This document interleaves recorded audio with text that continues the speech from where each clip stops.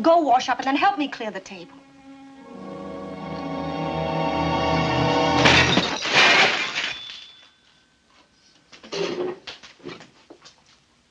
Now, that's how I'm going to clear the table.